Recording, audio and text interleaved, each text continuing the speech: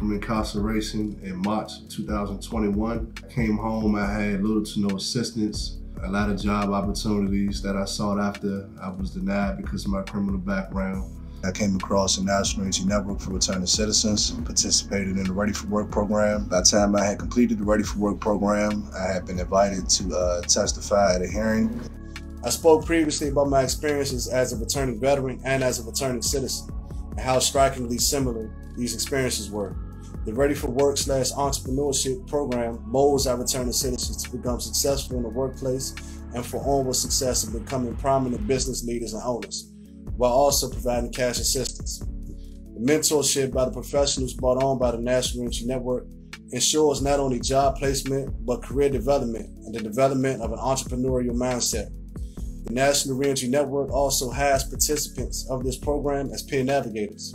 This has given me the opportunity that I have today to turn around and teach all that I have learned to those returning citizens who come after me.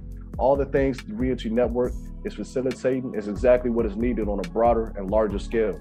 I will hope to see the Committee on the Judiciary and Public Safety partner and share resources with the National Reentry Network for Returning Citizens to expand its reach to include outreach to our returning citizens prior to their release from incarceration. I just like to hear the success stories uh, from individuals who I'm able to reach. Uh, not only myself, but as a whole, who we are able to reach. I like to hear success stories. And even if it's not that I just bought a million dollar home or I just married the woman of my dreams and bought a house with a white picket fence, that I've been out here and I'm staying out here. That's enough of a success to me than a lot of other stories I hear.